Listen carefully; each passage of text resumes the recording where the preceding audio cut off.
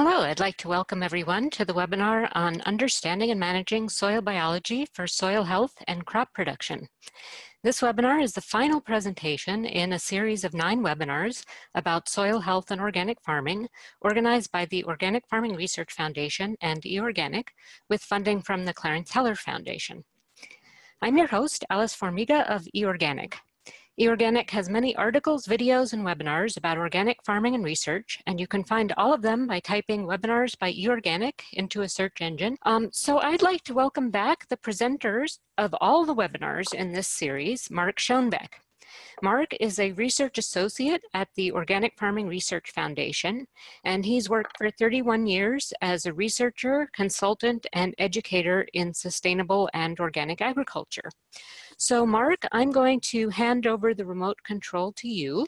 So uh, welcome everyone. Uh, today we're talking about soil life, uh, which is a favorite topic among organic farmers. This became pretty clear in the survey that um, Organic Farming Research Foundation conducted in 2015 in preparation for their 2016 National Organic Research Agenda. Uh, they found that not only did 74% of respondents to this nationwide survey, it's a, out of more than a thousand farmers, rated soil health as a high research priority, and it was the most often cited priority. Um, a lot of them made comments about wanting to learn more about what soil life or soil microbes need to thrive and the roles of different organisms or of the soil uh, biota as a whole in crop nutrition, crop health. Uh, a lot of interested in uh, mycorrhizal fungi and other uh, plant symbionts. Uh, some questions about uh, these applied um, microbial products? Are they really helpful? Are they really needed? Or are they kind of snake oils? Uh, a lot of really good questions around that. And um, nematodes and insect pests, which can occur in the soil, as do their natural enemies, and soil-borne diseases. So before we uh, get into the details of how organic practices may or may not, or how they can be best uh, tuned to uh, optimize your soil food web, I'm just going to take a quick tour through the uh, soil food web, web itself and describe some of the major groups of organisms and what they do in the soil. Um, this is a diagram of the soil food web showing all the different trophic levels. Um, this is um, something developed by Dr. Elaine Ingham, uh, Ingham uh, back in about 2000 and it became part of the soil biology primer and it's a diagram that's turned up in many places in many contexts. Uh, she introduced this concept during the 1990s, um, and it was the first time that this, the importance of soil life in plant nutrition and in other important aspects of agriculture became really widely known. So you have initially, you have the plants themselves uh, converting sunlight into organic and CO2 into organic matter. And then the plants and their residues become food for the decomposers or second trophic level in this diagram, the bacteria, fungi. And there's certain nematodes that uh, kind of jump the gun and feed directly on the plant roots. We'll talk about uh, those characters a little bit more a little later on. and then the next level, the organisms that graze on these microbes, um, nematodes and some small arthropods and then their predators and so on up until we get to the, the big critters that we see and sometimes have to chase out of the garden. So we'll start at the beginning, bacteria. And there's this other interesting group called archaea. They used to be called bacteria, archaeobacteria. Um, some recent DNA analysis show that they are archaea, although they look like bacteria, they're about as related to bacteria as they are to our to uh, humans and other mammals. So that's a very interesting discovery. Uh, they do make up about 10% of the soil biomass. Um, but let's look at first at the bacteria themselves. Uh, a lot of them play this role of decomposers. They break down the organic residues that nature and the farmer return to the soil. Uh, there are some root zone or rhizosphere bacteria that play very important symbiotic roles of different sorts, including nitrogen fixers. Uh, there's some other bacteria that uh, are involved in mineralization and nitrification, uh, with uh, mostly the nitrification turning ammonium nitrogen into nitrate, which is the form that some plants prefer. Uh, some plants can use either one equally well. Uh, this is another interesting group of bacteria in the soil is they are the gut microbiomes of larger animals in the soil, everything from microarthropods and some of the nematodes up to the earthworms, and of course mammals. And as you've probably learned by now, we all have our own gut micro microbiome, without which we couldn't live. And yeah, there are a few bad um, character, bad actors in the bacterial uh, kingdom, a few plant pathogens. Um, here's an example. There's, uh, there are bacteria, of course, in these uh, nodules in the legume. And then here's a plant root. And you can see the root hairs coming out here, and then the root sloughing at the tip, which is normal as it grows through the soil. Um, and there's just a gazillion bacteria, just a bloom of bacteria right in this nutrient rich zone. The plant is feeding those bacteria. Uh, one thing I want to say is I want to credit Dr. Elaine Ingham and her uh, colleagues, and also Dr. Ray Weil and Nyle C. Brady for their most recent um, edition of Nature and Property of Soils, on which a lot of this initial material is based uh, on this uh, Soil Food Web uh, tour. And the soil archaea are very interesting. They play very um, uh, specialized roles. The archaea were first discovered in extreme environments wow, there's life in this frozen glacier, or there's life in this 250 degrees subsea uh, steam vent. And they were found to be these archaea. But then in the soil, um, a lot of them are involved in this nitrification process and also denitrification. Some of them are methanogens, um, which are a bit of a problem from the viewpoint of uh, trying to manage uh, climate change because they're forming methane when the soil is uh, anaerobic. But they are all those that play important roles in plant nutrition. There's sulfur oxidizers, turning um, inaccessible forms of sulfur into sulfate sulfur, which is uh, what the plants utilize.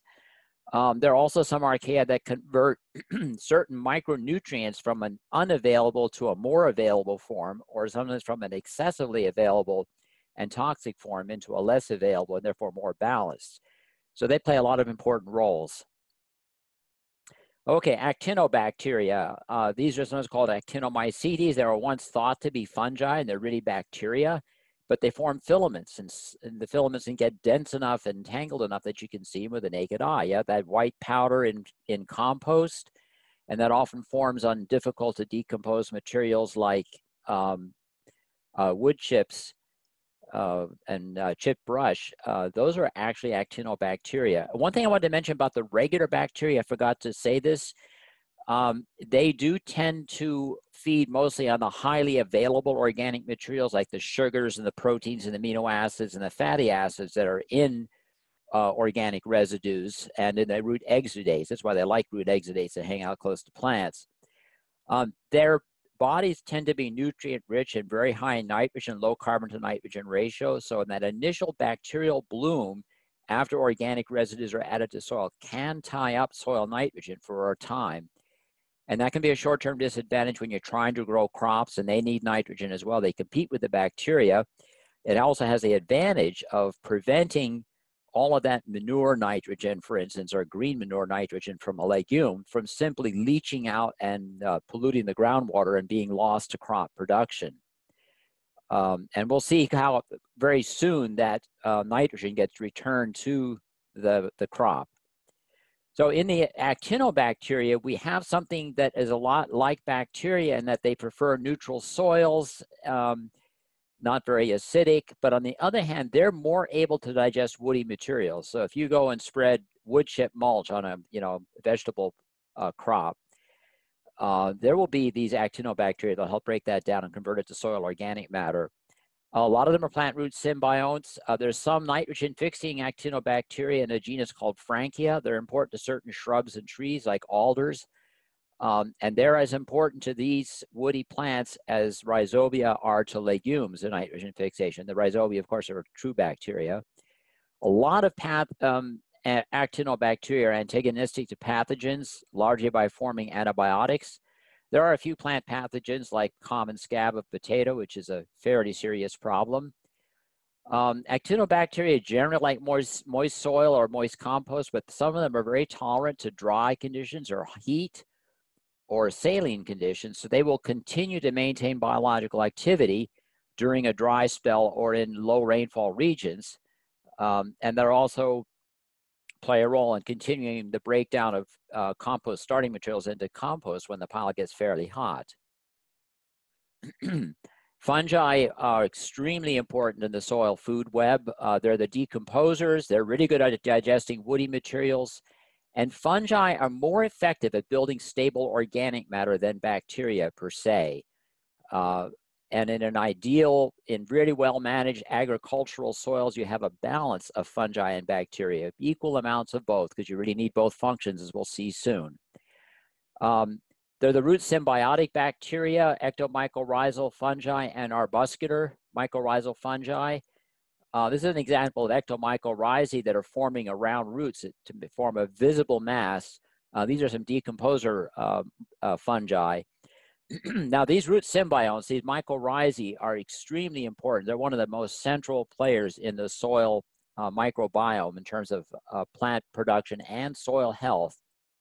Uh, in fact, there's now fossil evidence that land plants and mycorrhizal fungi evolved together. They came on the land together because remember there wasn't any soil back in those days as we know it. There was dirt there was rocks and there was bits of clay and silt and sand all ground up but it was dead until these plants and their fungal symbionts got to work on it.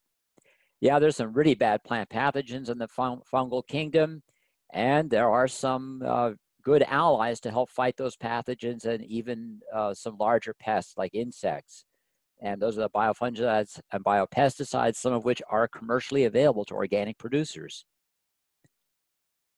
Protozoa, they don't make up as much of the soil biomass as the fungi or the bacteria or the earthworms.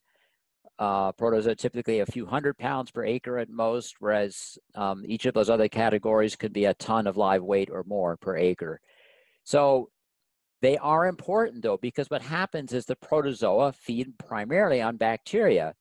And it doesn't take as much nitrogen to build a milligram of protozoa as it does to build a milligram of bacteria. So when they get all this excess nitrogen, they release it into the soil as ammonium nitrogen. And um, when you have the bacterial bloom near the near the plant root, then the protozoa say, "Oh, that's where the food is." So they go into the plant root zone as well, so they're releasing a lot of those nutrients right close to the plant.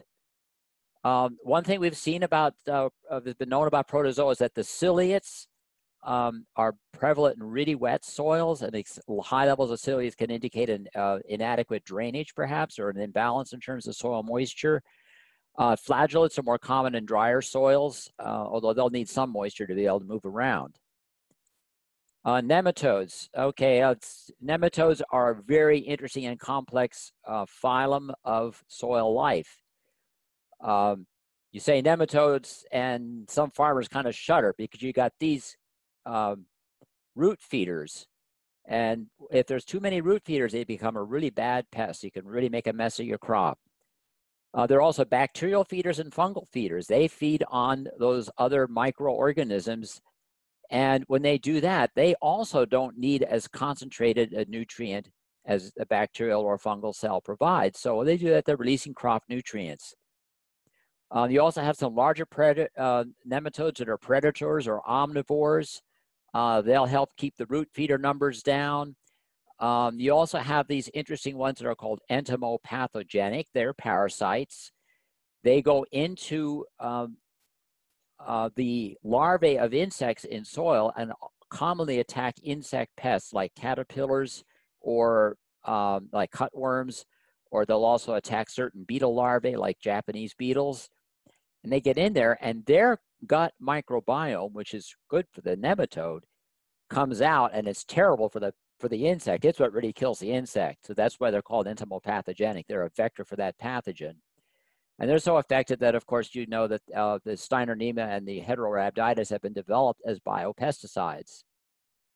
Microarthropods, these are getting now into the borderline of macroscopic organisms. Yeah, you can also, if you look real carefully, you can barely pick out some of the larger predatory nematodes. These guys also, they're in the neighborhood of about a quarter of a millimeter up to a millimeter long. There are some six-leggers, which are called springtailers or collembola. They're sometimes considered true insects or at least closely related. And then there are the mites that are eight-legged. They're more related to ticks and, and uh, spider mites than insects. But these are all very beneficial. They physically shred up some of the coarser um, plant and animal residues, organic residues that are dropped on or in the soil. And by shredding it up, they make it more available to bacteria and fungi, and they, they accelerate the breakdown and uh, release of nutrients. Some of the mites are also predators. Uh, and some of the collembola uh, will also be grazers directly on the fungi and bacteria. Earthworms, um, everybody is very familiar with these, and it's the one way that it's very easy for a farmer to assess the soil life in the soil. Dig up a couple of shovelfuls, you hope to see at least a few earthworms therein. Um, they've been called ecosystem engineers because they really physically change the environment and they're constantly creating and modifying habitat. Uh, they build macropores in some of the earthworm species. They go down deep. They build deep channels that allow moisture to soak in more quickly, really enhance drainage. They also take what they earthworms do is they eat soil and residues wholesale. There's everything in their path, and they have a uh, they have a very vibrant mut, uh, gut microbiome, um, which is essential again to their capacity to digest the organic materials and what happens is all the mineral soil and whatever organic materials they don't assimilate and all these, uh, some of their own gut microbiomes get mixed together and they create this enriched aggregated material called worm casts. Now this is a, a type of earthworm is very common. It's called the European night crawler. If you see those six and eight inch long earthworms that you say, wow, I've got earthworms, it's usually this guy. Um, they cast on the surface and they make those deep channels uh, there are other earthworms that live just in the near the surface of the soil and they go um, make horizontal burrows or there's some that just live in organic residues including the red wiggler um, which is uh, Eisenia foetida that's important for um, uh, for the uh, create um, vermicomposting uses that organism. Uh, and it also occurs in nature. You'll find it you know just in compost piles coming in or in, in uh, leaf litter in the forest now, the reason these are, critters are called ecosystem engineers is that when you have a high earthworm population, you can turn over anywhere from about 9 to 450 tons of soil per acre per year. That soil goes through the earthworm and gets uh, excreted in this form, either at the surface or through the soil profile. And they also can help mineralize 45 to 80 pounds of nitrogen per acre per year. Oh, and I wanted to add another thing about those nematodes I mentioned earlier, the ones that feed on the microbes, they can contribute 30 to 40% of the annual nitrogen mineralization. So you can see how between the earthworms and the nematodes in a very healthy cropland soil or prairie soil where these critters tend to be numerous, uh, you can get a lot of your plant available nitrogen just through this turnover of organic matter by the soil life. Uh, when you look at this 450 tons, that's equivalent to like three or four inches of soil. That's probably an extreme. But even if you're looking at, you know, nine tons, that's a significant amount. It's like a little bit of biotillage going on all the time. some other soil macrofauna in some of the tropical areas, termites kind of take the ecological niche of earthworms. They are the ecosystem engineers and it can get a little out of hand when they build these great big termite mounds like three or four feet high but in natural ecosystems, those then become the most fertile soil in the savanna or the forest where these are occurring. Um, ants are also important macroorganisms for doing some of this uh, bulk soil and residue mixing in many forest and grassland soils, uh, temperate and tropical. These critters are really interesting, dung beetles. They play a vital role in pasture and grazing lands because they either make balls of dung and take them down to bury them to feed their young, or they simply come into the cow pat or the horse dropping and just sort of consume it from below. And as they basically dispose of all this surface accumulation of dung, they not only help cycle nutrients, but they break up the parasite life cycles. I'm talking about parasites that are going to bug our livestock or our wildlife. And they also reduce food safety risks. I mean, if you have you know, suppose a cow comes through and poops on the field that you're going to want to harvest lettuce from in two months. Um, if the dung beetles dispose of it, there's a much smaller chance of any foodborne pathogen getting from that manure into your crop. So I'll talk a bit more about how soil life functions in relation to plant nutrition, crop protection, um, and uh, organic production practices. So this is one of the earliest uh, kind of principles of organic agriculture ever since I first heard about organics in high school. It was like feed the soil, then let the soil feed the plant. And there's a related uh, concept called um, law of return that uh, Sir Albert Howard, who's one of the early pioneers of organic agriculture in the mid 20th century, what he was basically saying is it's not enough to just put mineral fertilizer salts on the soil, which was becoming all the rage in those days, just beginning to become the new technology. You've got to return the manure, you've got to get crop residues, and it's good to compost it to stabilize the nutrients. So those are some of the early concepts. So what are we feeding? Actually, not only is soil life do all those wonderful things I've described so far, but basically it's the processing center of all organic residues that come into the soil, all organic materials, whether it's dung or dead crop residues or the exudates from living plant roots, it all, or something called active organic matter. This is organic matter that's already undergone some processing by this soil life, but is still available. It still can be food for other organisms. So it all goes through this soil food web. And then eventually what comes out is about half of it, maybe a little more, a little half, gets respired into CO2. So yes, all that wonderful carbon that came in is going back into the atmosphere, which already has a little too much CO2. But plants are going to start taking it up. They need it. And the other important thing about mineralization, which is this process, um, is that it releases plant nutrients all this has all these materials that are coming in represent plant nutrients that are uh, for the moment tied up. But then as this respiration and mineralization occurs the nutrients become available to the plant again. So that closes that nutrient cycle. The other valuable function really important is called stabilization and that's the formation of stable organic matter. And the definitions vary but we can just for the sake of this presentation say any organic matter that's going to stick around longer than a decade, we can call it stable uh, because it'll tend to accrue in the soil rather than break down as active organic matter does. So we want both of these processes going on, mineralization to feed our next crop and maintain fertility, stabilization to maintain soil health and maintain tilth. I'll show you how that happens shortly. And also it's very important for carbon sequestration. The reason this cycle doesn't just sort of, you know, get us back to square one by making CO2 is that half of that carbon in a really healthy soil eventually ends up here. So how do we monitor all this? Um, I'm not going to get much into monitoring because we don't have time to cover all the bases. Uh, this is a challenge. How do you really keep track of what your soil life is doing?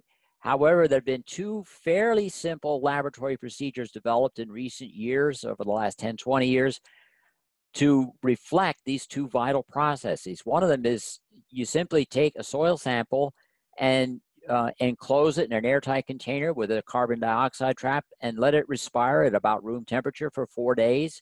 You make sure the soil is at optimum moisture level for soil biology. You say, well, how much is it how much activity is there? That activity will be measured as its respiration. And that's what's called PMC or uh, potentially mineralizable carbon. I should have spelled that. I'm sorry, potentially, potentially mineralizable carbon. And that's just estimated by how much CO2 is formed by keeping soil in an enclosed place for four days. Um, and then stabilization there's actually a form of active organic matter called permanganate oxidizable carbon, and that is measured by mixing your soil with a dilute solution. It's 0.02 molar for those of you who are interested in scientific details, but it's a fairly dilute solution of this potassium permanganate.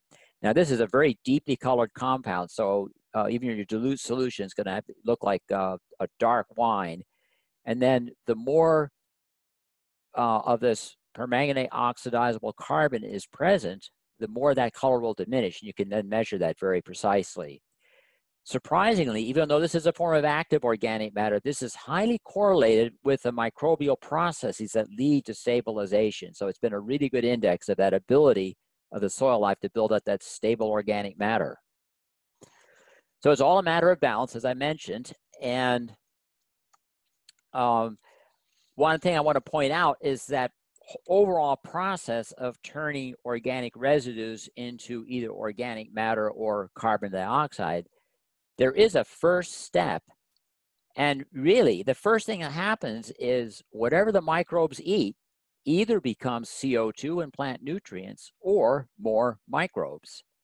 And of course, the microbial biomass doesn't build up exponentially forever, so because they're dying off as well. And it's that die off that eventually leads to the formation of um, stable organic matter, also contributes to the active organic matter.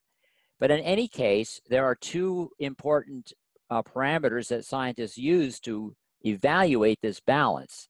One is called microbial growth efficiency. That means when these microbes eat a meal of organic residues from all these sources here, uh, how much of it becomes more microbial biomass and how much of it is respired as CO2 uh, with release of nutrients.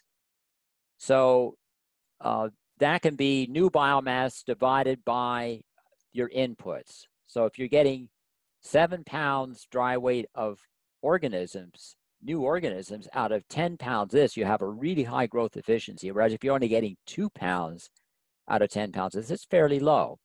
There's another one called metabolic quotient called QCO2, and that's the ratio of the respiration to the existing biomass. And what that means is basically how hard, how hard does this stuff have to work just to maintain itself through respiration? Turns out this is an index of stress on the soil microbiome. So uh, factors that tend to build biomass and stable soil organic matter, in other words, to give you a high microbial biomass efficiency and a relatively low uh, re, um, metabolic quotient or QCO2.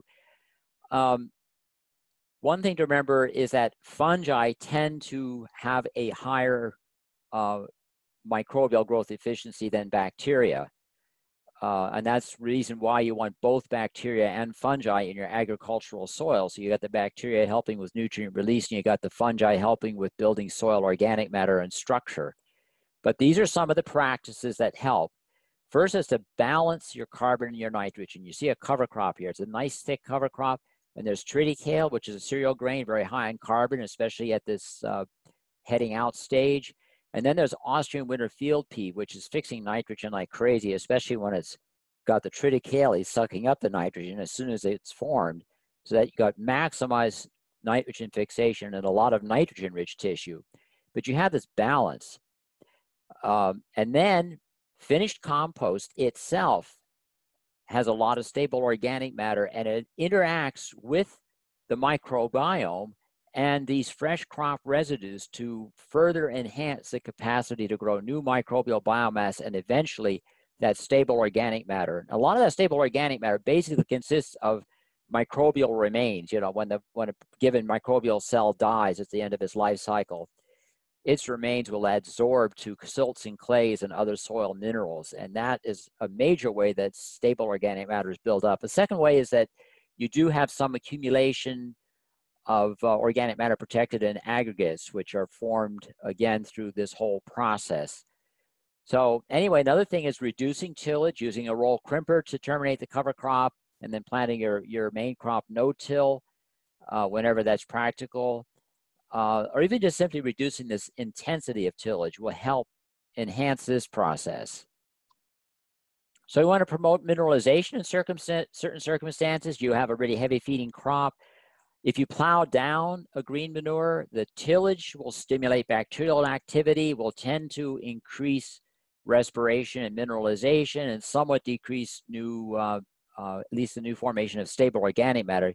You actually get a bloom of new microbial biomass, but it tends to be organisms that will, will also hasten the uh, breakdown and release of nutrients high concentrated fertilizers. These are some organic examples of relatively concentrated nutrient sources. Blood meal, poultry litter, um, those high nutrient analyses will tend to stimulate this mineralization process.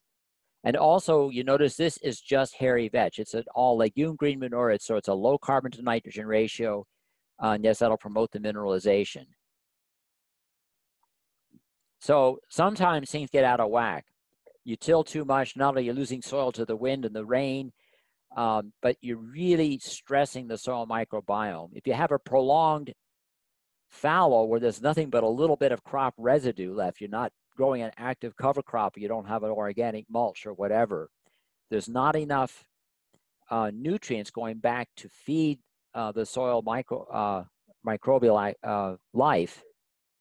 Of course, erosion, uh, this is a pretty uh, severely depleted soil. Another thing is when you get to, uh, uh, these are fertilizers that we're not going to use in organic systems, but 10, 10, 10, and uh, this would be ammonium nitrate. Um, they not only go directly to the plant, completely bypass the microbiome, but they also further stimulate the breakdown of organic matter. And what one of the things that's to remember is that prolonged fallow periods, especially if the soil is bare and it's unprotected, um, the organisms near the surface are subjected to the extremes of of heat in the sun, freezing nights, uh, pounding rains, etc. But simply, even when you've got a little residue cover, there's no living plant cover to speak of here. So you don't have those daily inputs of um, goodies from plant roots. And that really makes uh, a big difference. These guys don't have enough to eat. Some of them can certainly feed on these residues, but the ones that really depend on the root zone uh, will be uh, dormant or actually dying out. Okay, so we'll look at some of the functions of uh, soil life and plant nutrients. Um, one of the functions, uh, we talked about uh, how they digest residues into soil organic matter and recycle nutrients. Uh, the organisms that do that, the decomposers uh, and the mixers, we've talked about all these different critters and how they physically mix everything together. Uh, providing nutrients for crops. This step happens with the grazers. Those are the protozoa and the nematodes that are releasing excess nutrients when they eat bacteria and fungi. And then these root symbionts. These are very important. Nitrogen fixing bacteria, uh, mycorrhizal fungi. Um, and also, all of this activity maintains the aggregation or tilth and the drainage of the soil. Uh, bacterial release glues that tend to hold soil particles together. Fungi form these massive uh, networks of hyphae, which physically tie uh, soil particles together. Uh, plant roots also contribute directly towards creating channels, uh, drainage channels, and of course the earthworms as well.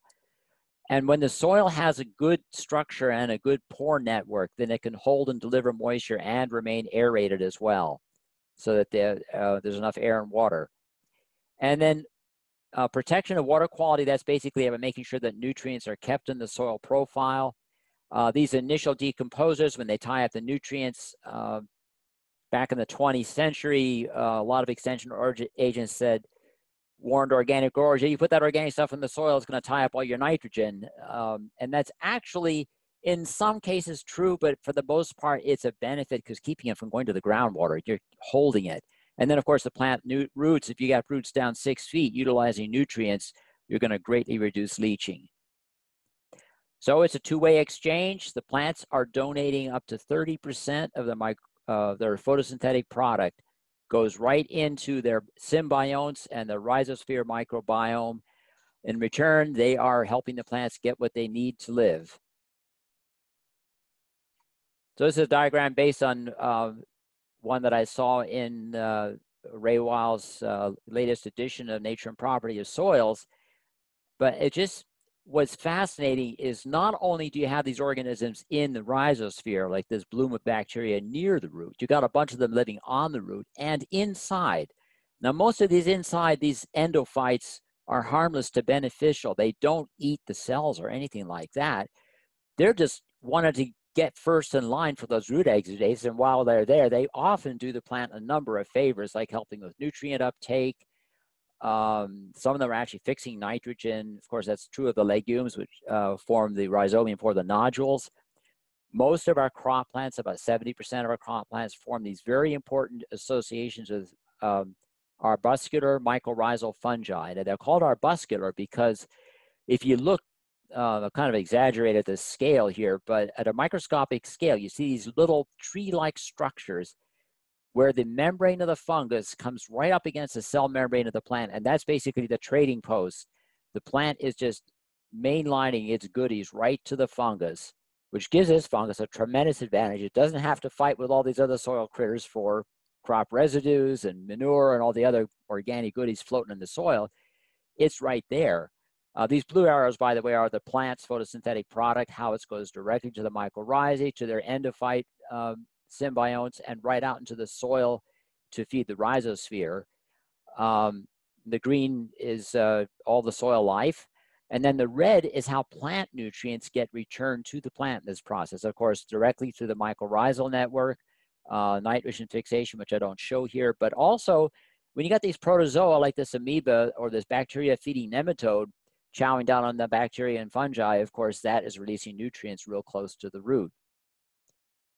Well, one thing I wanted to mention that although I didn't show any nodules there because that was not a leguminous root in that last slide, there are non uh, symbiotic but uh, rhizosphere zone. I mean, they're non non endophytic, but they're symbiotic in that they are fixing nitrogen near the plant, so they can take it up. Uh, organisms such as Azospirillum, Azotobacter, uh, a couple of others.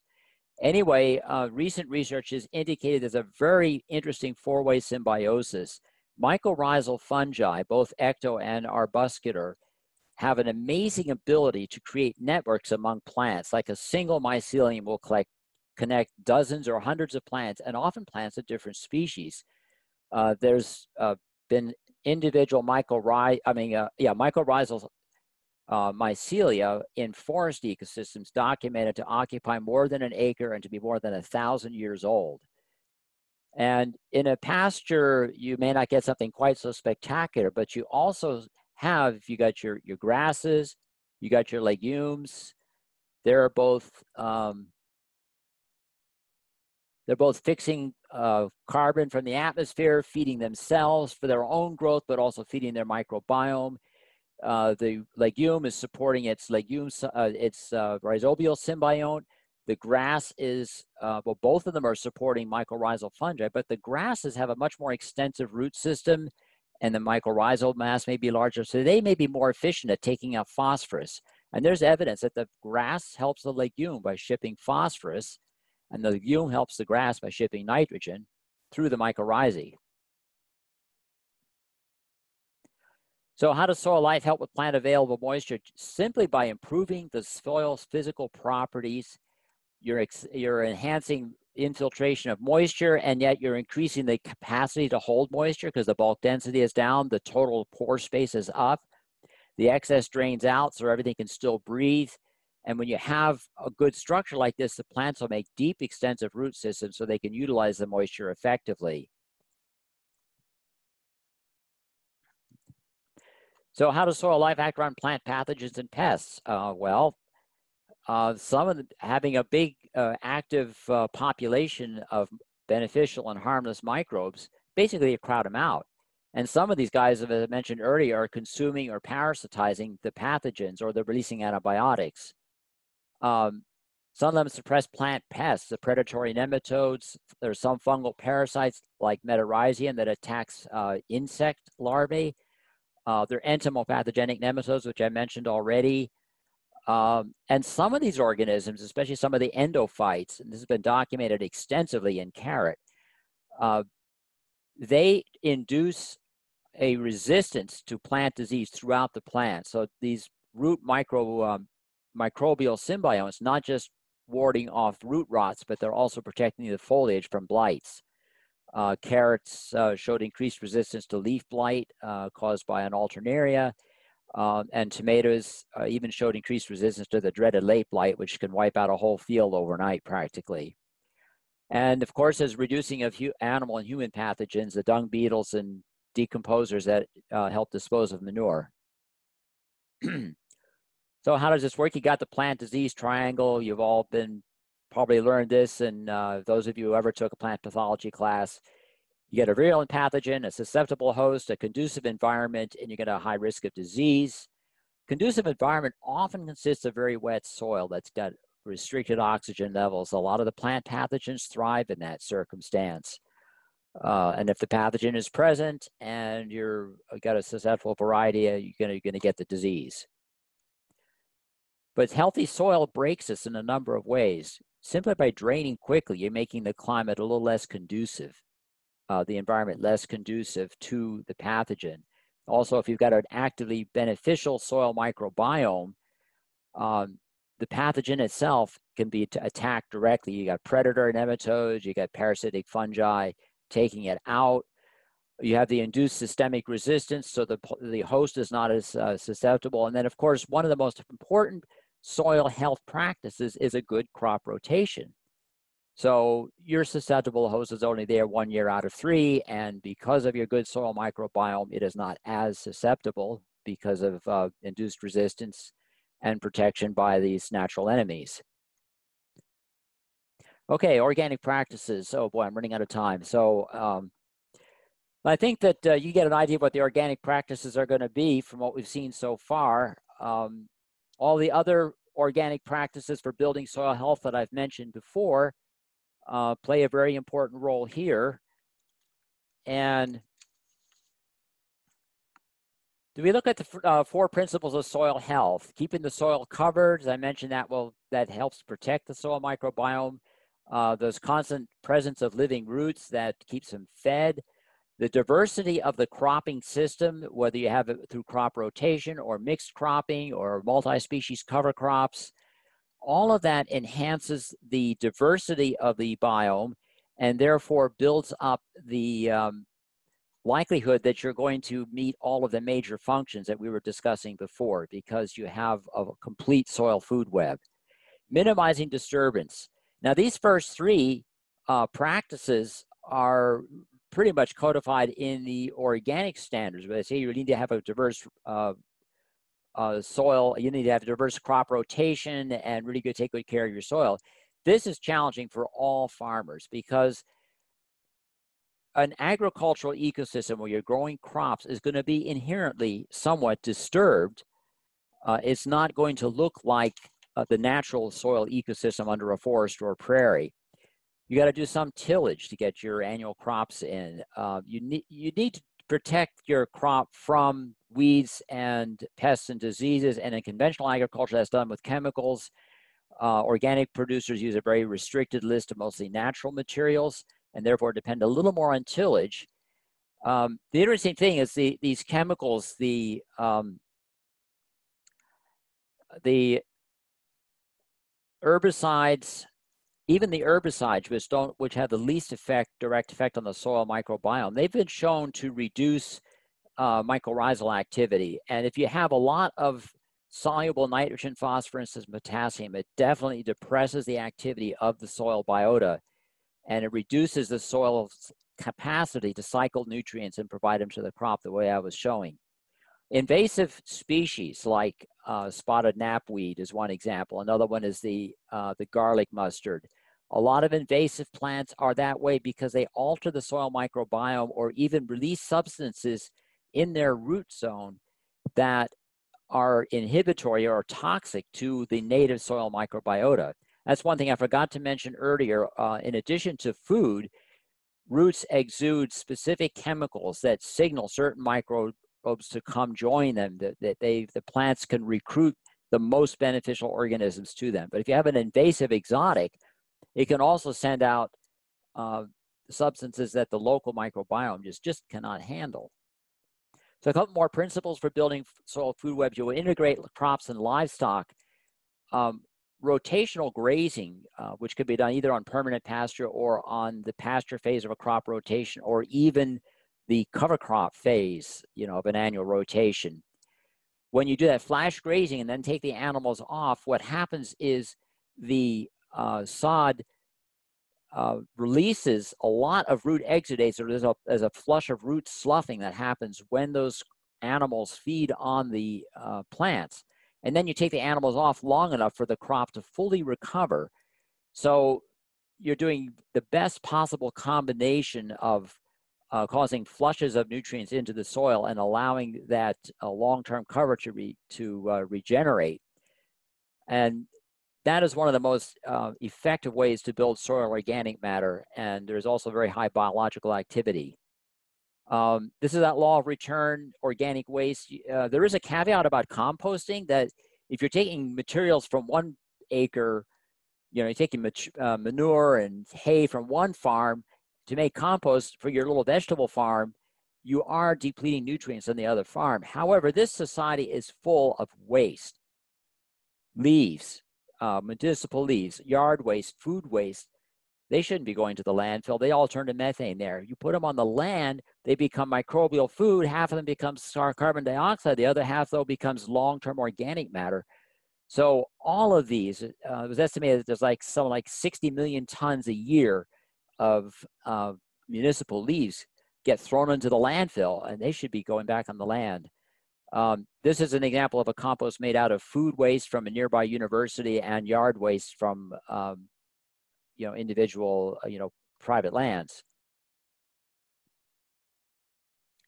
And uh, I just wanted to say, before we go any further, uh, practices that are covered in the eight um, guides that have been published so far will generally improve both the uh, abundance and the function and the biodiversity of your soil food web. There will be a ninth one coming out if I ever get around to it on soil life and soil health.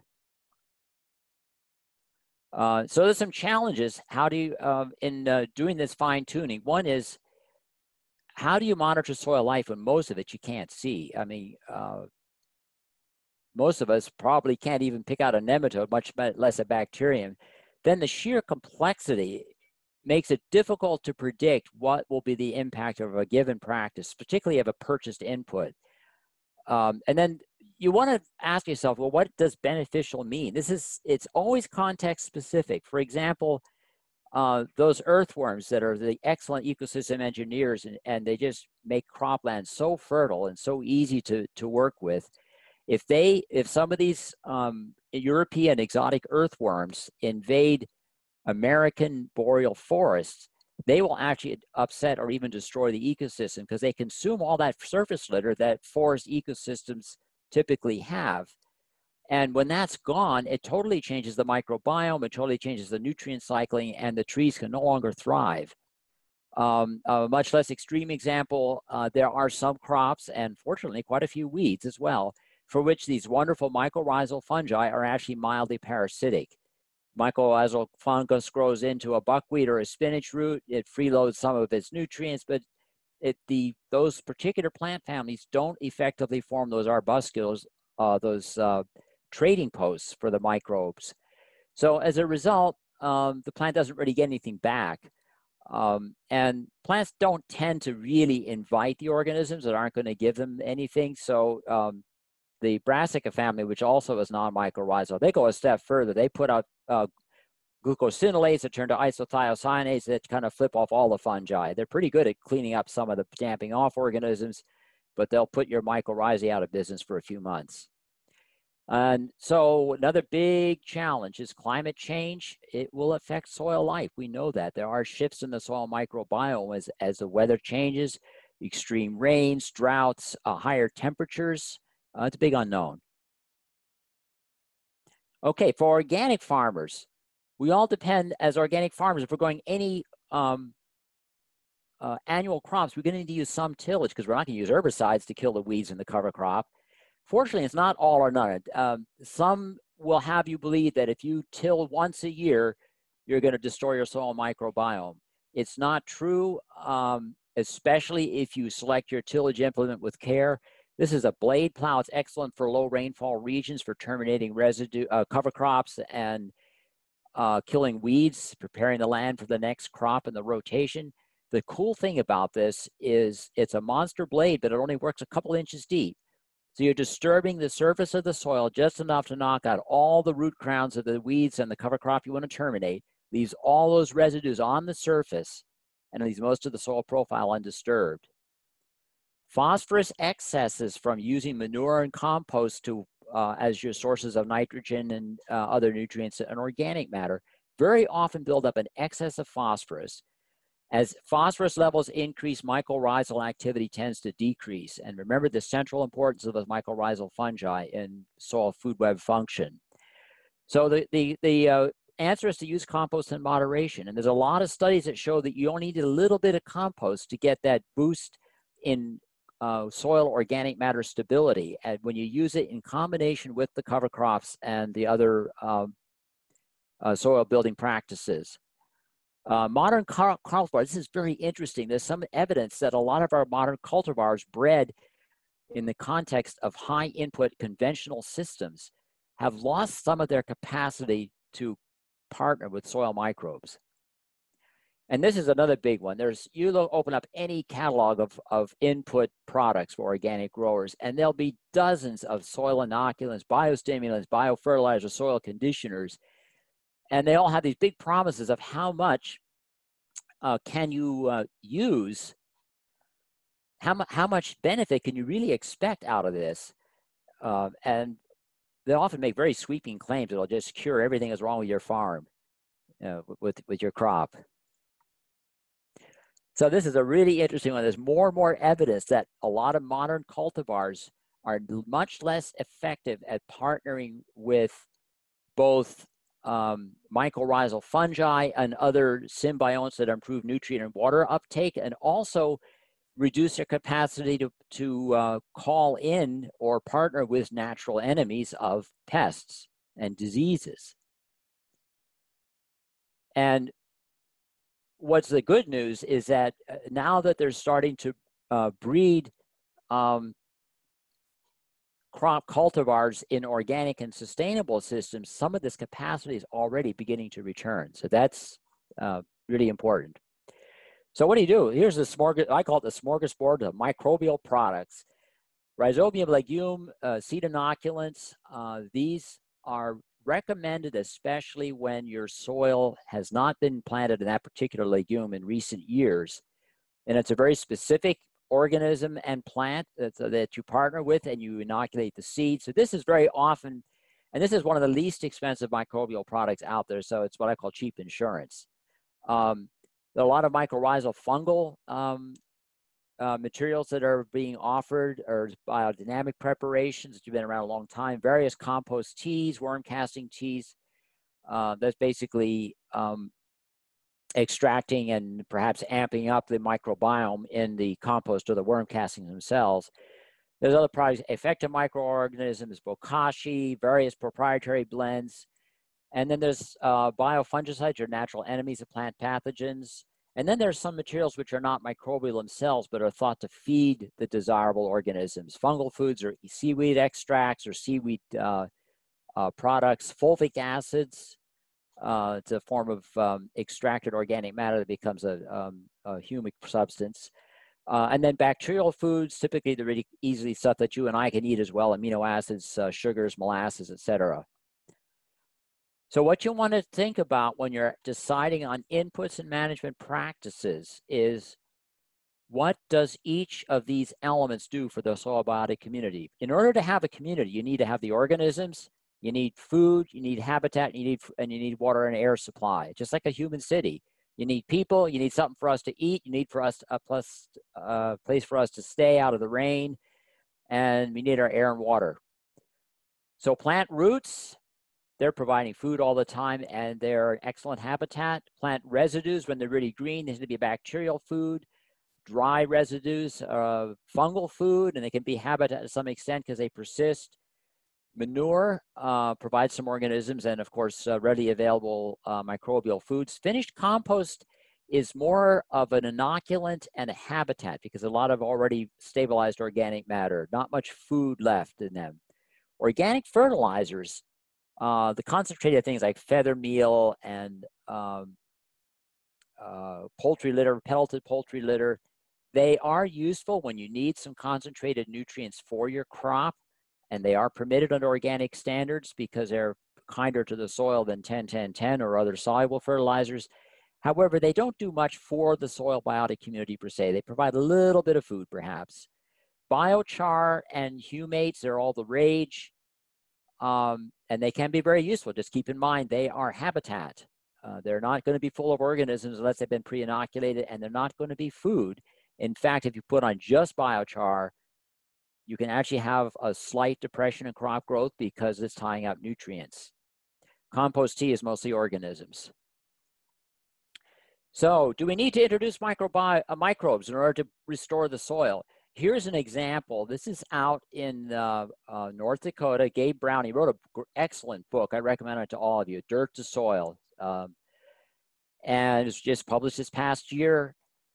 And he said there'll be still be some small bit of life in the soil, even if this soil has really been tilled to death or had a lot of chemicals into it, and you don't have to just give it a chance to grow. He took 5,000 acres of depleted land, and I mean depleted. It was down to 2% organic matter uh, versus a native level of about 8%. Took 5,000 acres, grew crops according to the four NRCS principles, added the fifth principle of integrating the livestock and rotational grazing. And um, in 20 years, that organic matter jumped to 7%. And we can only imagine the way that the soil microbiome bloomed. Because remember, you won't get this soil organic matter without the microbiome. He never put a single purchased inoculant on there. He may have made a little compost and put it on, but it wasn't even mentioned in the book. So, um, and you're not going to put five tons per acre of compost on 5,000 acres and stay in business. It's not going to happen. Well, do commercial inoculants work? We've had mixed results. Um, if the soil is already quite fertile, they don't tend to do very much. Uh, and that's because most of the functions that are served by those um, inoculants is um, already there. Now, on soils that are low in fertility, uh, they can be quite beneficial. And in fact, with kind of some of the research indicates that we're at a moderately low fertility level. Like, for example, let's take a southeastern U.S. soil. It's in the order called Ultisols, highly weathered. A lot of its nutrient reserves are down in the subsoil. A lot of its clays are in the subsoil. Uh, there's biological activity in the top soil, but you don't tend to accumulate a lot of organic matter because the weather is warm and a lot of our soils are sandy. Um, in this circumstance of soil of average health, uh, you can expect a pretty good response to, a, to any of these microbial inoculants that have good science behind them. There's some that are just, you know, not that effective or not really backed by the evidence, but you get a good um, uh, material, you can get a good response. Now, why might some of these fail, even here in the South? They might be outcompeted by the indigenous soil biota. Uh, usually it will happen either when you have a very active and balanced soil food web, or if you just turn under a bunch of green matter with a with a rototiller and you get a huge bacterial bloom, and then you try to spray if you know a few hundred thousand microbes per acre or something that you want, they're going to get squeezed out. Or, as I mentioned before, their intended functions are already provided by your existing biota and your practices. Sometimes there's something in your existing biota that'll attack what you put on one way or another, parasitize it, eat it for lunch, um, or just suppress it with uh, antibiotics. And sometimes you don't have a very good product that's lost viability. Be real careful how you handle it from the moment you buy it to the moment you use it because a little bit of too much sunlight or heat or freezing can uh, kill it. So there's some research findings around this interesting question. There was one uh, project at Ohio State where uh, the research team coordinated and they even set up a, a, a, website, a network with farmers, and they tried this on 21 on-farm sites in seven states, tried 13 different products, all of them well researched, most of them consisting of several organisms, um, often including a mycorrhizal fungus, um, beneficial bacteria. They tried on seven different vegetable crops. There was not one trial that showed a benefit in two years. And I kind of look at that and then I thought, well, maybe these things aren't needed. But then I ran into other analyses. There was a meta analysis worldwide about 134 different research reports, including over 1,000 individual comparisons of crops that received a mycorrhizal inoculant versus ones that were not inoculated. And these crops were generally phosphorus. Uh, these these trials on average showed a 50% response. Now, some of these are greenhouse trials, some were in the field, most of them were in the field, uh, different crops, but all over the world, a lot of lower fertility soils.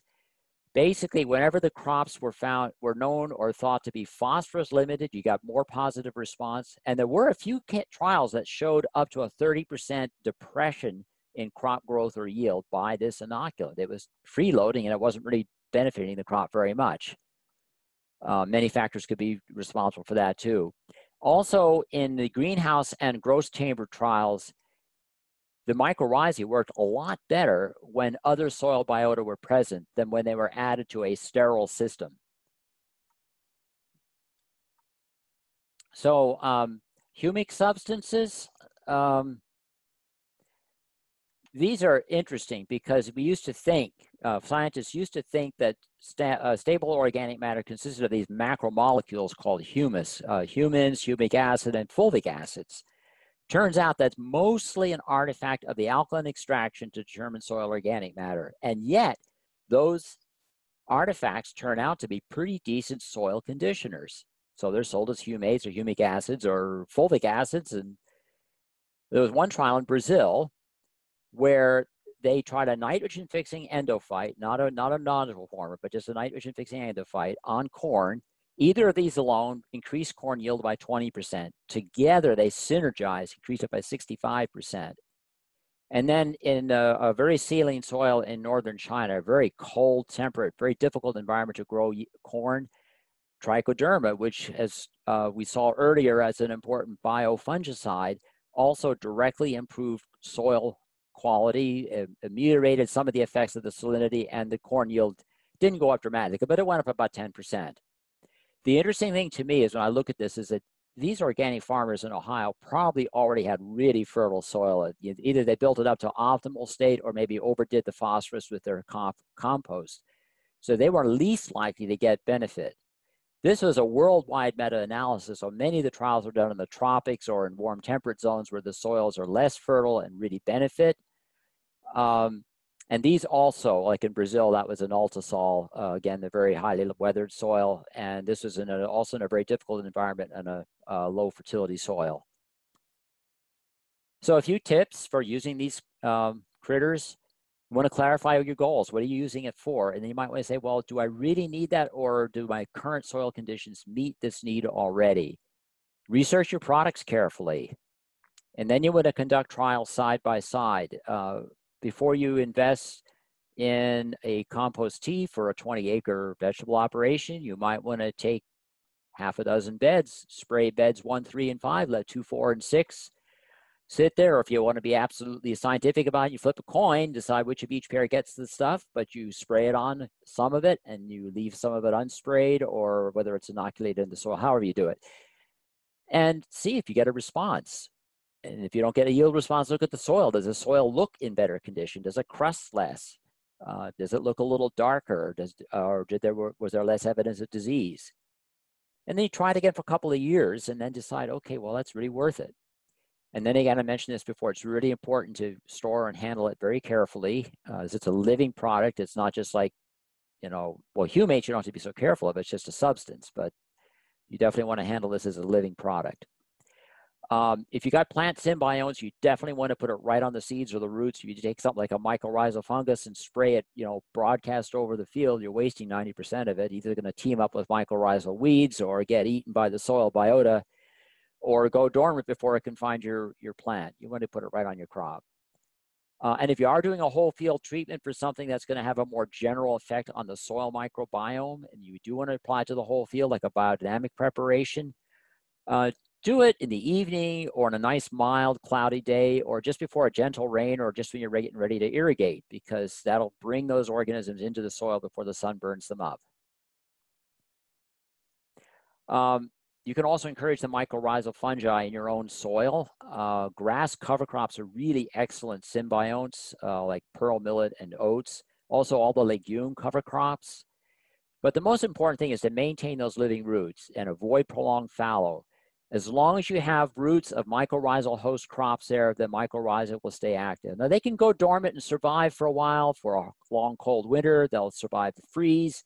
If you plant one round of broccoli and you got you know got anti-mycorrhizal crops there for 90 days, they'll go to sleep in the spores. They'll still be there, but you don't want it too long without those desirable roots. You diversify your rotation, build up the diversity of the mycorrhizae, um, if you've grown those non-host crops, follow with a grass legume cover crop and really uh, wake them up and get them going again for your next uh, host crop. Uh, the most more you can reduce tillage intensity, the better. Um, a lot of evidence that not only mycorrhizal fungi, but the microbiome as a whole is much more tolerant of a fairly gentle non-inversion tillage, such as a rotary spader or a chisel plow, than of a, a moldboard plow, which turns a house upside down also more tolerant of uh, something gentle like a rotary harrow. uh, or strip tillage or ridge tillage, where you're just working up right in the crop row and leaving the inner rows undisturbed, versus rototilling the whole field, which will just chop everything to bits. Uh, avoid these uh, nutrient surplus. That's important for the whole soil microbiome. And then avoid soil applied fungicides. Well, we don't really have to talk to organic farmers about that, except, well, yeah, once in a while we got a really bad disease and we got to use copper or something. Just be aware that those fungicides, even biofungicides, will have some impact on these guys as well. Um, and Dr. David Douds, uh, there's more information in uh, the notes. Uh, I, I did prepare about 20 pages of uh, presentation notes to give you a lot more detail, but I couldn't cover today, and I'm already over my time.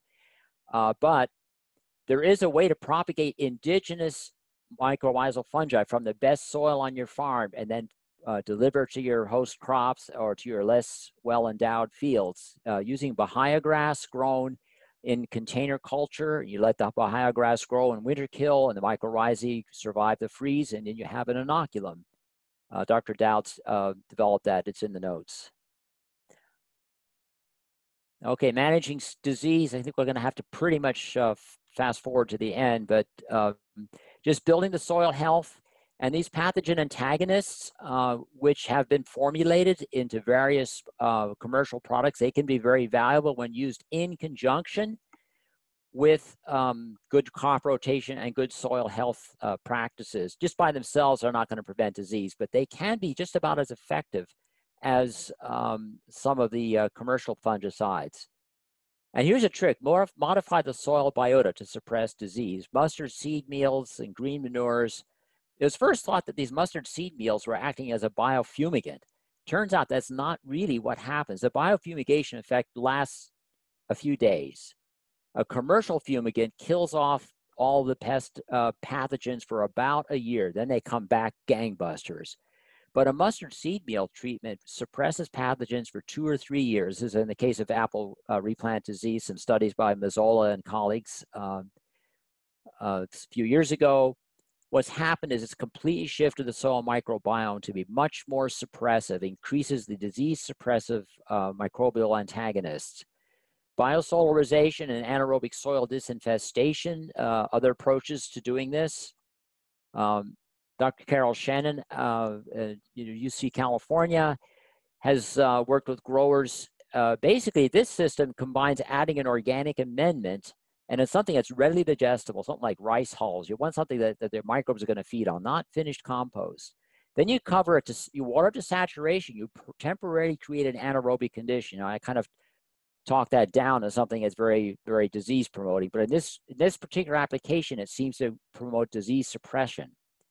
Cover it with mulch for three to six weeks. Let that anaerobic activity digest all of that, create a huge bloom of microorganisms and this very nasty strawberry pathogen is reduced by 80%. And the yield benefits have been enough that it's now widely adopted by organic and conventional farmers.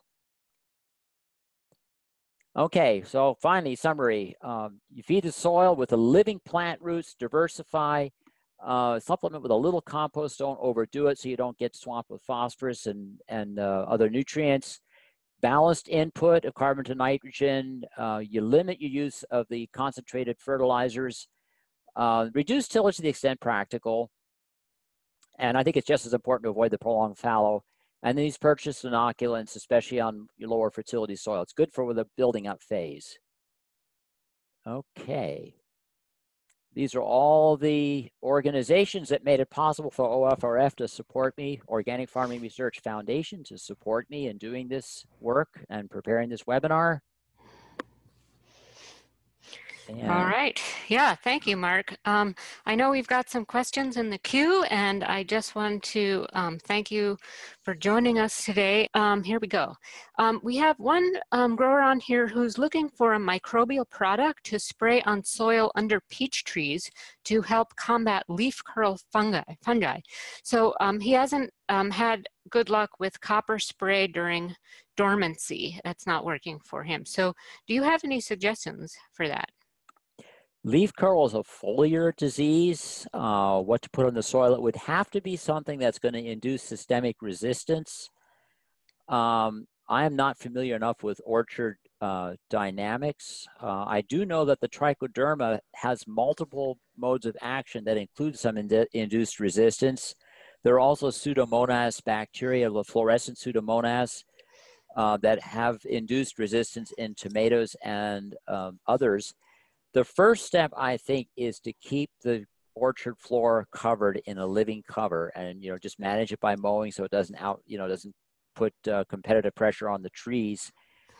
Um, very interesting question. I would say look up uh, mark mazzola. I think he's at um, he's a usda somewhere out in the pacific northwest. I, I, unfortunately i can't pull up exactly where he is um, in my mind my memory right now but uh, he's done a lot of work with this mustard seed meals, but I think they mostly induce these uh, direct antagonists like the streptomyces, um, the antibiotics, and, and some of the parasitic fungi.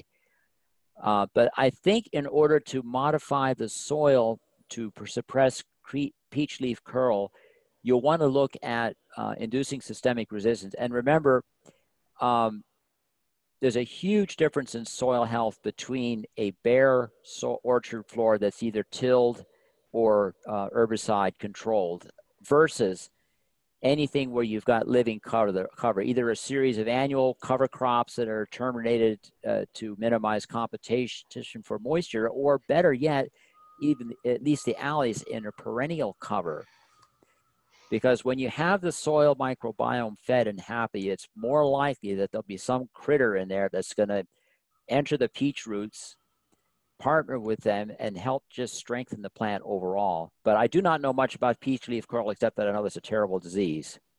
Okay. Um, let's see.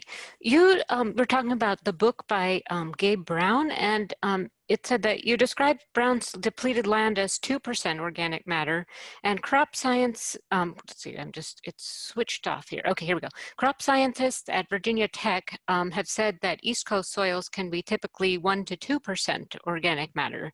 and they've also said that bringing the soil organic matter to 5% is not realistic. what's your perspective about that? Uh, first, let me say that Virginia Tech itself has rated my soil at 5%. And all I did with it, all we did with it here at the community was to break the sod and then garden it reasonably sustainably with occasional heavy cover crop. So a good Appalachian soil will be 5%, but there's also a lot of context. If you're talking about a coastal plain soil, 2% is excellent health. If you're talking about a prairie soil in North Dakota, where half of the year the soil is frozen and the other half of the year you get 16 inches of moisture in which to grow grasses, 8% is the steady state. If you go into a longleaf pine forest, you'll find a good duff layer on the surface with all those um, uh, microarthropods turning it over. But you get down three or four inches into it, you'll be down to 2% in a hurry in a native ecosystem here in coastal Virginia. So it's totally context specific.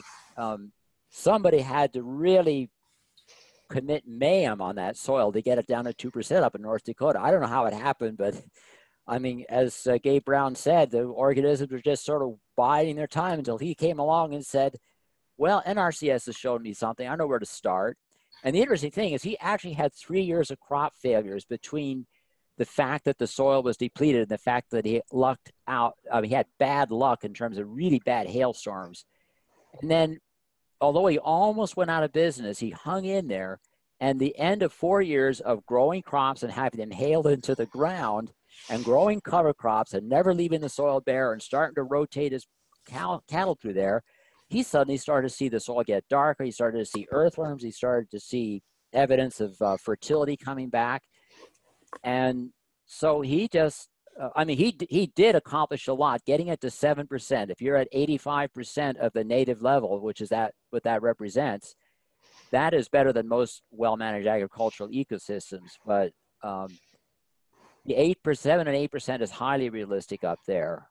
Uh, and anybody who does rotational grazing, I mean, if you just if you're just doing ranching, if you're just doing range, um, and you got that kind of moisture level of you know 15 20 inches a year and uh, you manage the the uh, cattle well it'll get to 8% in 20 30 years no no problem Okay.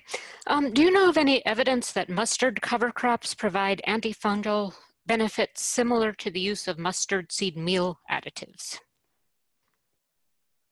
Interesting. Um, there are a lot of yeah, a lot of studies been done with mustard green manures. In fact, there was one in uh, Maine. I, I, uh, this, um, I didn't really include it in the details of this particular presentation, but they were looking at organic potatoes grown with compost or with a uh, crucifer family cover crop. I can't remember if it was mustard or canola or what, but uh, one of those or both. And what they found is that the compost tended to build total organic matter and the mustard tended to suppress diseases. It prevented, there was a certain disease in the potato. I can't remember what it was, but it was much less with the mustard. So um, and also in high tunnels, uh, they have done biofumigation where you chop the mustard, turn it under, you know, very similar to that, and then water really heavily and get the heck out of there because the mustard oil is pretty asphyxiating. And I think what happens, you get that very brief fumigation effect, and then you get a longer impact on the soil microbiome that faces the antagonists. Um, there are a lot of factors here. It won't be exactly the same as a seed meal, but there will be some similar effects. Okay. Um, do you know of anything that might help the soil or help the plants against virus-infected thrips in tomatoes? Ooh, yeah, tomato spotted wilt virus. Oh, that's a good one. Let me think about that. The main control tactic there is the winter weeds. There are a lot of winter annual weeds that harbor that thrips. Um, I uh, just wanted to say if anybody else has any ideas, um, feel free to type them into the chat box and copy, like there's a little drop down next to like where you um, where it says to who the message goes and you can check all panelists and all attendees. So feel free to chime in with any knowledge about this that you might have and remember to um, copy all the attendees. So um, we had one comment here regarding mustard. Uh, we'll go back to the thrips in a second. Um, this person said mustard, much of the western side of California has extensive mustard due to the missionaries who dropped mustard seeds as they were traveling. Okay, that's an interesting fact. Um, but yeah, if you could uh, feel free to chime in as well. So did you want to say anything more about um, thrips there, Mark, or should we? Um, well, I, I wouldn't be surprised if uh, research were to discover something that increases a tomato's systemic resistance, whether to the virus or to the thrips. Um, there won't be a direct, I mean, a, a, a soil, a soil-borne uh, predator or parasite is probably not going to get directly on the thrips. Um, there may be ground beetles that come up out of the soil if you have a good mulch and you have low levels of disturbance uh, the ground beetles may come up and consume some of the thrips and help keep the, the vectoring down. Uh, that is a serious problem, and I think it's a matter of winter weed control. And one way to control winter weeds is to grow a winter cover crop that doesn't host the thrips. That'll take a little research, but uh, if you have a non-host cover crop, you're building soil, and by the way, uh, giving the thrips no place to overwinter, so you'll have le less of an issue with that particular virus.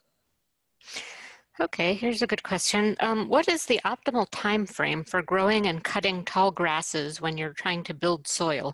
Should you do it every year, twice a year, every three years? mean grazing the cows on the grass? Um, it just says growing and cutting. So I'm, I'm he may mean mowing um, tall grasses. Oh, just tall grass. He said cow yeah. grass. Okay. Yeah. Um, probably simulate uh, rotational grazing. You could cut them at early head. If you get them really, really old and then cut them, you may, uh, you won't be returning as balanced a quality of uh, organic matter to the surface. Um, well, hay, you know, haying you usually do three times a year. Uh, but if you're harvesting off all that hay, you're really depleting nutrients. I've seen a number of soils here where the organic matter is great and the tilth is great, but the P and the K are, you know, single digits, like you're really depleted. Um, so haying is tricky, but uh, the idea with the grazing is to grow the crop, grow the grass tall enough and mature enough that it has uh, really regenerated the um, uh, its root system. The worst thing you can do for grassland is, is to keep it manicured like a lawn because the, when you mow the lawn every week or two, you don't have any chance, the crop, the grass doesn't have any chance to regenerate and deepen its roots. You end up with this really shallow thatch root system. And at the opposite extreme, when you have optimally managed rotational grazing, now that can vary from every five or six weeks up to once or twice a year, depending upon your rainfall and your existing fertility, et cetera, a lot of factors, season. During the winter, it won't grow as much as during the summer, even here in the South. Uh, of course, in North Dakota, it's snow covered or frozen hard, and you won't be growing anything during the winter. But um, the idea is uh, that now the mowing does somewhat simulate the grazing, but it's not quite the same. Mowers don't tend to leave nutrient-rich dung. They don't tend to trample the larger, coarser stems back into the soil. Um, they just tend to knock everything down. So it is a different impact, but if you are wanting to grow and mow, I would just say mow infrequently, let the grass begin to head, then mow. Okay, um, let's see, this person is looking for sainfoin information. Um, does this deep-rooted perennial legume have some unique soil biota qualities which make it such a favorite for meadow enthusiasts? How might sainfoin improve the soil biotic community?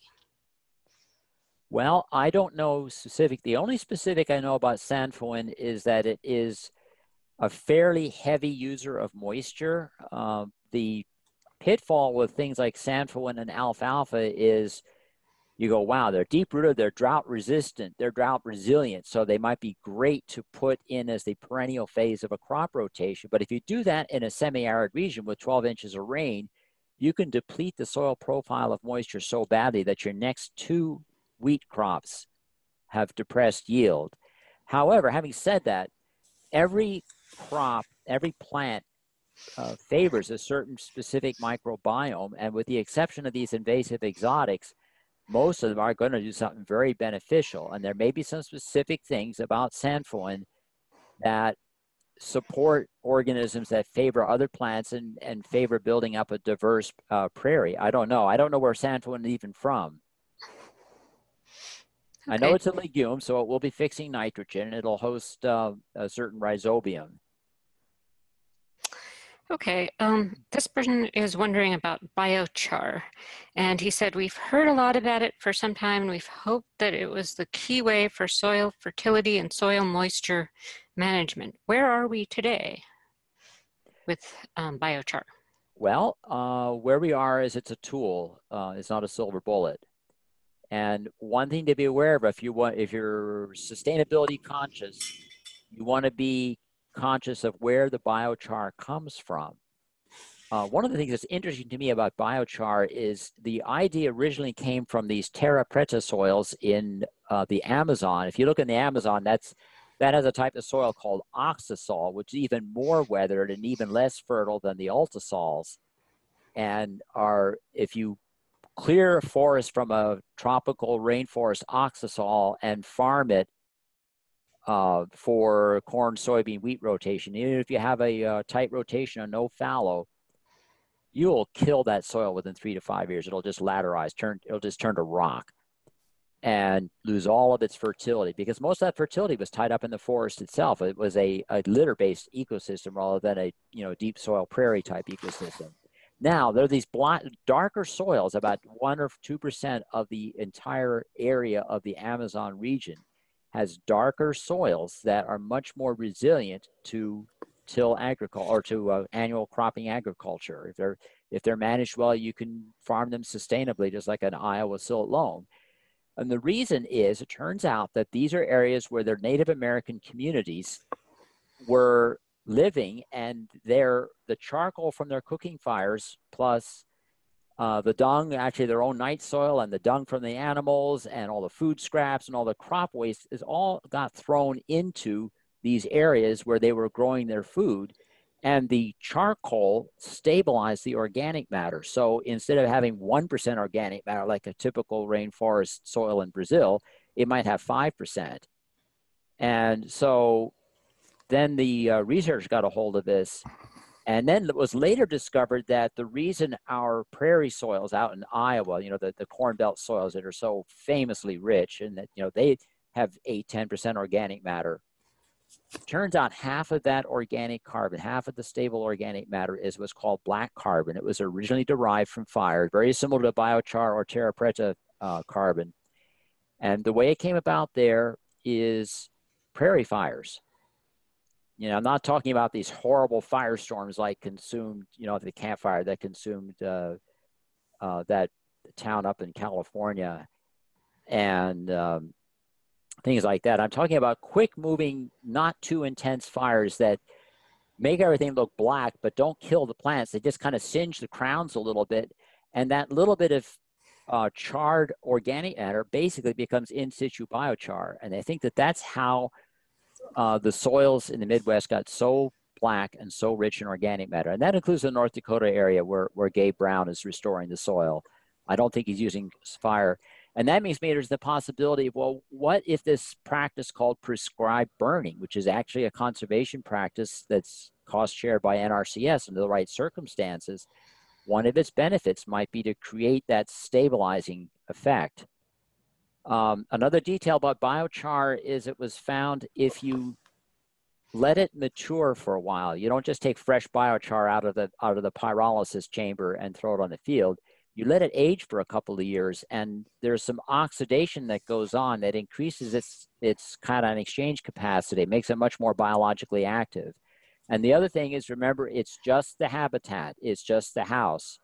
An empty house isn't going to have much in it until you put the food in it and the water and the um, and then get the people to move in and so some biochar manufacturers actually inoculate their biochar with microbes and a little bit of microbial food. Another way to do it is just to put it on either right when you're turning under a cover crop or with or put it in through your compost pile. Uh, so that's anyway, got me going on biochar. okay, we've got one more question here. Um, besides Solvita paddle testing, is there any other way to test your soil for CO2 respiration?